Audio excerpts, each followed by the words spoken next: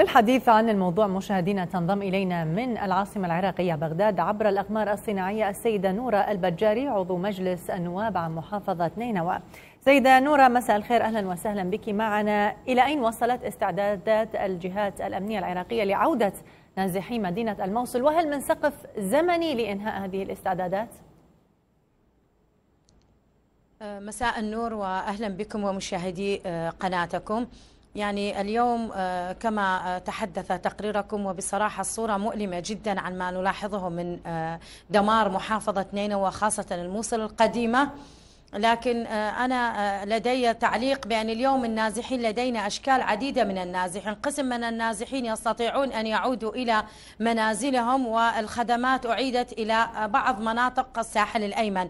لكن القسم الأكبر في مدينة الموصل القديمة حتى لو كان هناك جدول زمني ووافق السيد الرئيس الوزراء على عودة هؤلاء النازحين لن يستطيعوا هؤلاء النازحين أن يعودوا إلى منازلهم بسبب الدمار الذي لحق بمدينة الموصل القديمة كيف سيعودوا وليس لديهم منازل والمنازل سويت بالأرض ولا سيبقون في المخيمات. أنا حسب وجهة نظري أكثر من سنة سيبقون هؤلاء النازحين من الموصل القديمة.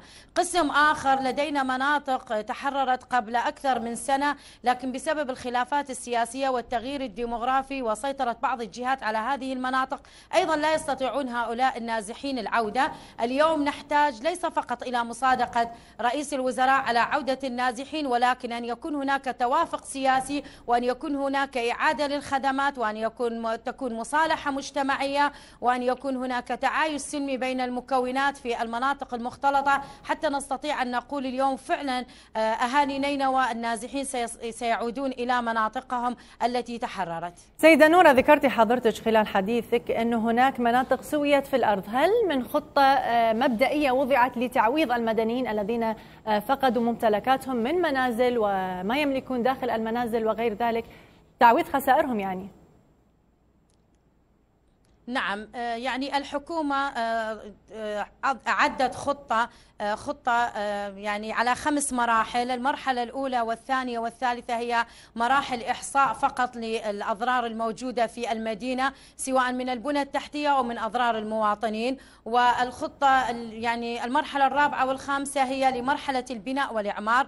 خطة الإعمار تبدأ في سنة عام سنة 2018 هذه الخطة حوالي 100 مليار دولار تكلف إعادة إعمار المناطق المحررة ليس فقط نينوى إنما كل المناطق المحررة.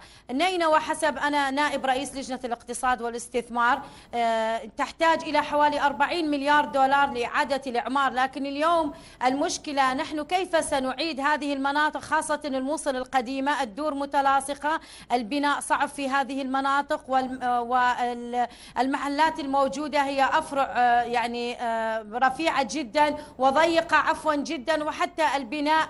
لا نستطيع أن نعيد البناء كما كانت. نحتاج إلى أن تكون هناك شركات عالمية وشركات كبرى تعيد بناء هذه المناطق خاصة الموصل القديمة وأيضا هناك مشكلة.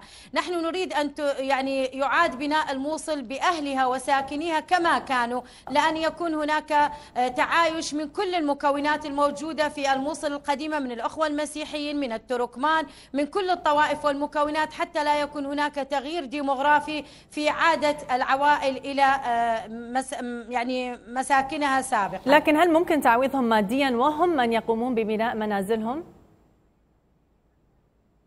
لا اليوم كان هناك خطة تعويض فقط للسيارات التي حرقت. هناك دعاوي قدمت في المحاكم في مدينة الموصل لكن لحد الآن لم يعوض أي مواطن. وبالنسبة للدور لحد الآن على أساس أن هناك لجنة في محافظة نينوى ستقوم بجرد هذه الأضرار ولكن لحد الآن لا يوجد أي تعويض للمواطنين. لذلك اليوم مسؤولية الحكومة أن يكون هناك تعويض للدور التي تضررت وسويت بالأرض لإعادة بنائها. سيدة نور نورة بينما يتم الانتهاء من عمليات تأمين المدينة وعودة الأهالي إلى المناطق جميعها بحلول 2018 كما ذكرت ما حجم الدعم الذي تتلقاه الأسر النازحة في مخيمات اللجوء؟ يعني مع الأسف اليوم المساعدات التي تصل إلى مخيمات النزوح خاصة بعد الموجة الكبيرة جدا من الموصل القديمة هي فقط المواد الغذائية الإغاثية. المنظمات الدولية اليوم بالرغم من أن هناك منظمات دولية ودول تساعد العوائل النازحة لكن العدد كبير جدا ومستوى الكارثة كبير جدا. لذلك اليوم درجات الحرارة عالية جدا في المخيمات وهناك نقص كبير جدا في آه، يعني الخدمات الصحية وفي آه، يعني موضوع المياه والكهرباء في المخيمات. لذلك هناك نقص كبير جدا. لذلك نناشد اليوم الدول العربية وجميع الدول والمنظمات الإنسانية أن تقف إلى جانب نازحي أبناء محافظة نينوى في المخيمات وخاصة أبناء الموصل القديمة. شكرا جزيلا لك السيدة آه، نورة البجاري. عضو مجلس النواب في محافظة نينوى لهذه المشاركة.